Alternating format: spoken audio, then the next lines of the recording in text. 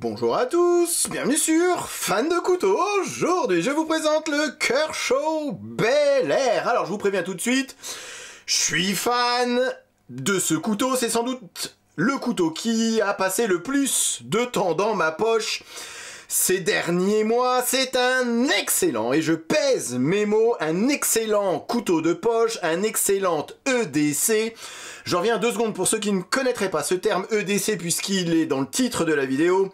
En anglais, Everyday Carry, couteau qu'on porte tous les jours.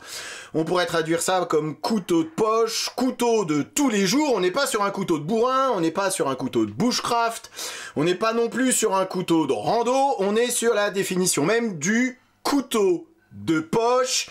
Bien évidemment qu'on peut rapprocher ce modèle Bel Air d'un Benchmade Bug Out, du fameux Bug Out qui comme j'ai pu le dire précédemment, serait presque même la définition de ce que c'est un couteau de poche. Un couteau de poche, c'est un bug out. C'est du coup aussi un bel air, ça pourrait être également un hog DK, même si sur celui-ci, une lame peut-être un petit peu plus agressive. Alors au niveau de la couleur de manche, le bleu, c'est certes sûr que c'est pas très discret, après il existe le même en noir, mais ces trois couteaux ont beaucoup, beaucoup de points communs. Ce sont donc d'excellents couteaux de poche. Ils sont tous made in USA, fabriqués aux États-Unis, ce qui va forcément impacter le tarif de ces couteaux puisque dans la moyenne, même si sur cette version du Bug Out c'est une version premium, mais on va parler de la version classique avec ce manche bleu et ce S30 VN, on se situe aux alentours de 200 euros pièce. Et oui, on peut pas tout avoir, on peut pas avoir du Made in USA, on peut pas avoir cette qualité d'acier et cette qualité de couteau pour 60 euros. Alors, à moins d'aller faire faire ça en Chine, voilà, mais pour tous les allergiques des couteaux Made in China, je pense que ces trois couteaux sont une réelle option pour tous ceux qui recherchent un excellent couteau de poche. J'ai quand même malgré tout un petit faible, comme je vous ai dit, pour ce Kershaw Bel Air, pour plein de raisons, et on va voir ça du coup Ensemble, je vous donne quelques dimensions histoire que vous puissiez situer ce modèle Bel Air. On est sur un couteau qui mesure 18,5 cm, donc vous voyez, on est sous ma barre psychologique des 19 cm, donc ça rentre pile poil dans couteau de poche. On est sur une lame qui mesure 8 cm, 7,5 cm de tranchant, une épaisseur de lame de 2 mm, une très belle émouture plate, hauteur de lame 2,5 cm, belle émouture plate, qui se traduit par un tranchant relativement fin, avec ses 2 mm d'épaisseur. On est sur un bon tranchant fin, un tranchant, un vrai slicer, comme on dit en anglais. C'est vrai que c'est très, très plaisant de couper avec ce modèle Bel Air. Le poids, c'est 81 grammes. Donc c'est vrai que par rapport à la version bleue du Bug Out, c'est un petit peu plus lourd. C'est dû à ce manche en aluminium, à ces platines en acier inoxydable. Mais honnêtement, à 81 grammes, même si oui, c'est plus lourd qu'un bug out, donc oui, on va le sentir un petit peu plus dans la poche, mais ce n'est absolument pas exagéré, bien au contraire, on a vraiment cette, impression de robustesse qu'on n'a pas forcément avec un bug out classique, qu'on peut avoir avec ce modèle DK que je ne vous ai toujours pas présenté, mais que je vous présenterai très certainement un de ces jours sur la chaîne. Mais voilà, si on... Voilà, tout le monde compare un petit peu ce Bel Air au bug out, pour moi c'est un poil plus robuste grâce à ce manche. C'est également Niveau esthétique, je trouve que voilà, cette forme de lame, je suis fan. On va appeler ça un, alors un drop point modifié ou un euh, tantôt inversé. Je trouve que ça lui donne du charme, ça lui donne du cachet, ça lui donne un petit caractère supplémentaire.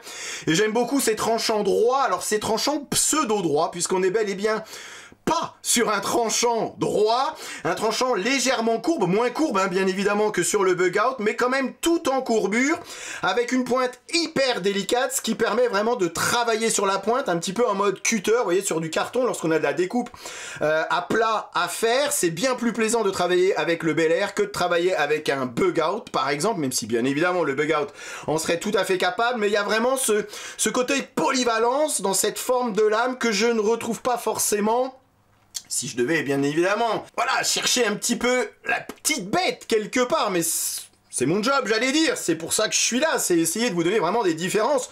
Pour tous les amoureux du bug out, vous allez me dire quel intérêt d'aller euh, d'aller taper sur un Kershaw Bel Air, et eh ben justement parce que ça change un petit peu au niveau de cette forme de lame que je trouve encore une fois un petit peu plus polyvalente que sur un modèle bug out. Pareil au niveau des Sumstud, vous voyez pour l'ouverture du couteau, donc pas de flipper, bretelle, ceinture, on se servira exclusivement des Sumstud qui fonctionnent très bien, qui sont idéalement placé puisque bien en retrait par rapport au tranchant, et ça c'est pour moi en tout cas un bon point positif. Pareil, vous l'aurez remarqué, pas de finger choll totalement inutile à mon sens sur cette taille de couteau, donc finalement c'est un couteau qui coche toutes les cases de ce qu'on peut rechercher lorsqu'on parle de couteau de poche. Roulement à billes, on a une lame qui redescend toute seule. On est en présence d'un crossbar lock qui s'apparente un axis lock. C'est pour ça que, voilà, beaucoup comparent un petit peu ces deux couteaux, puisqu'on reste dans la même catégorie de couteaux, d'excellents couteaux de poche, avec malgré tout quelques différences, donc au niveau de cette forme de lame, au niveau de la finition de la lame ici, euh, puisque pour le moment il n'existe que ce modèle, hein. il n'y a pas d'autres différentes couleurs de manche aluminium, il n'y a pas différentes finitions au niveau de la lame.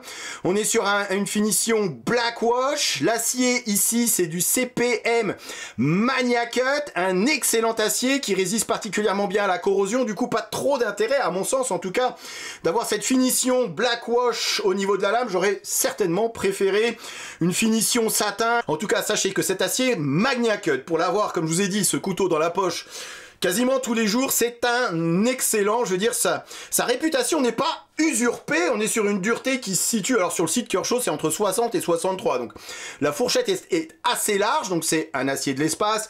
Mais c'est aussi l'acier qui coche toutes les cases. Niveau corrosion, niveau résistance du tranchant, tenue de coupe, résistance au choc, euh, qui permet, pareil, un petit peu de torsion sans forcément être trop cassant. Et puis pour tous ceux qui auraient peur d'avec ces duretés un petit peu élevées au niveau de l'aiguisage, sachez que c'est relativement, je, dis bien relativement, puisque c'est pas aussi facile que sur du 440 ou du 1095, mais ça reste relativement facile, par exemple, par rapport à un S30V qui est un poil galère, je trouve, à aiguiser. Disons, un poil galère à retrouver un tranchant sur du S30V, alors que ça ne l'est absolument pas sur ce Mania Cut. Je vous ai fait le test, vous voyez, avec ma petite pierre au début ça ne coupe plus, ça ne rase plus. Trois petits passages sur la céramique, la petite pierre Spyderco 303 MF, et hop, c'est reparti, on a retrouvé un tranchant rasoir en deux secondes sans trop se prendre la tête, et donc c'est pour ça que je trouve que cet acier finalement est voilà, c'est le compromis idéal, c'est le bon acier à tout faire.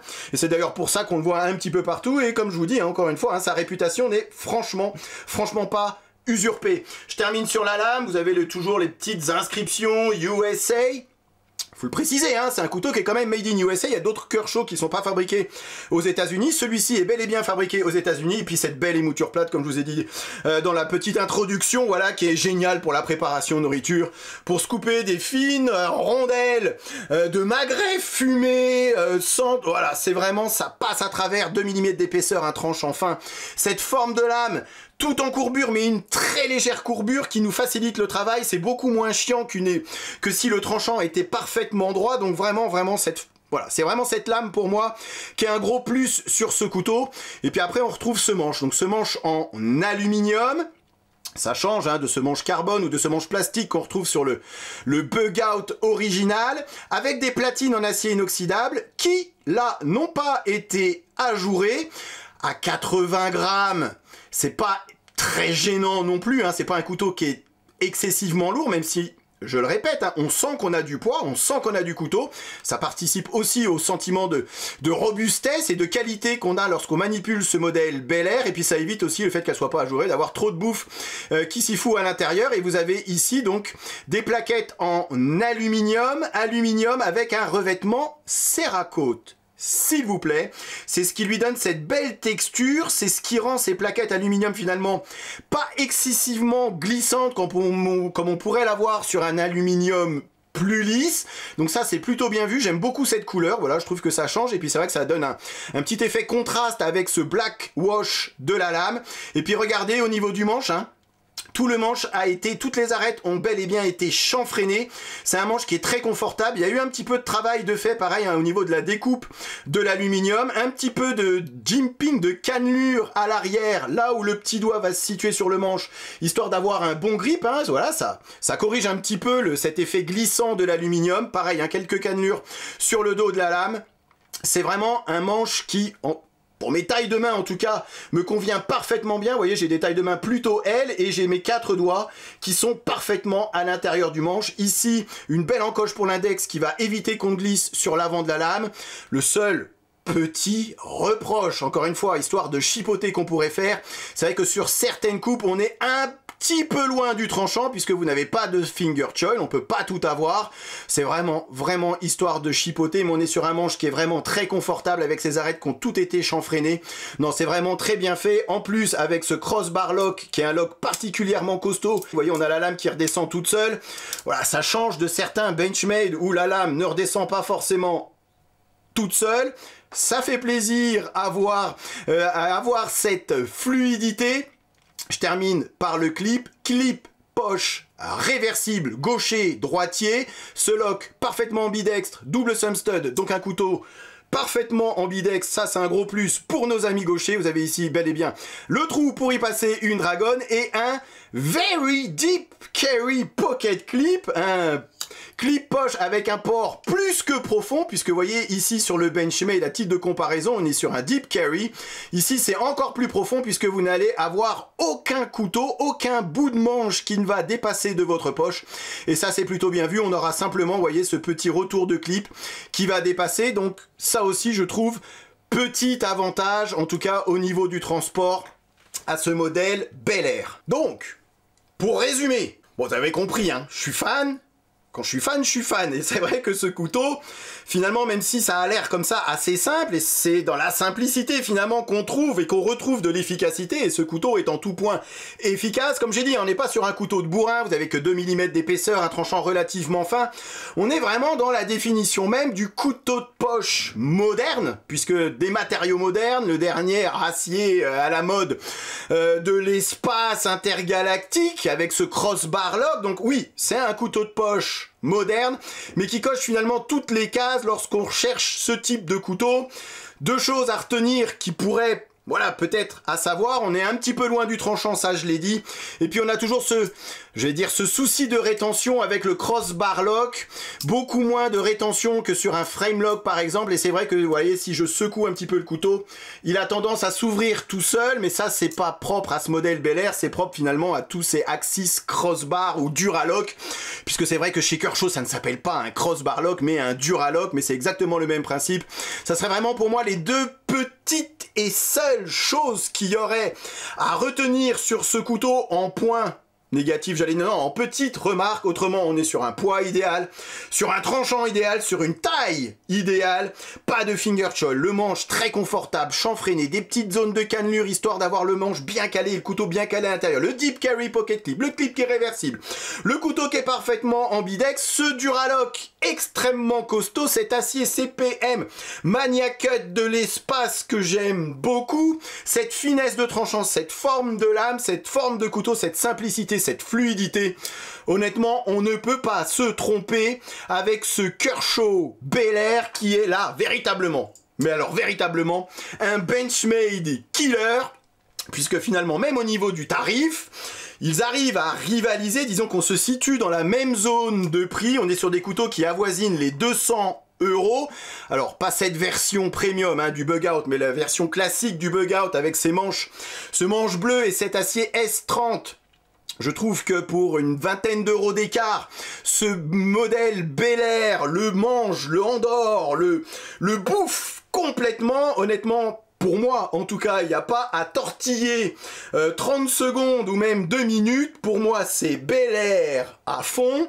Bien évidemment, comme j'ai dit, c'est du Made in USA. Du coup, ça se paye un petit peu plus cher que des couteaux on va dire quasiment équivalent, fabriqué en Chine, mais encore une fois, on ne peut pas tout avoir. Allez, Je m'arrête ici, vous, je vous remercie d'avoir regardé cette vidéo et bien évidemment je vous dis à très bientôt sur Fan de Couteau, salut Présentation, comparaison avec d'autres modèles et test de coupe en fin de vidéo comme d'habitude. Ok, allez, voyons voir ce que ça donne. Rasoir Encore une fois, les goûts et les couleurs.